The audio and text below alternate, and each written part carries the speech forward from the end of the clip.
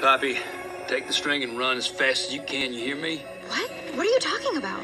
Trust me, just go. Now, please, let's go. Hickory, are you all right? Fine. Hey, hey, now, stop that. Here. Whoa. Ah!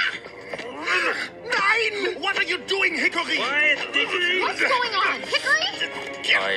so sorry. Yeah, show her who you really are, Hickory.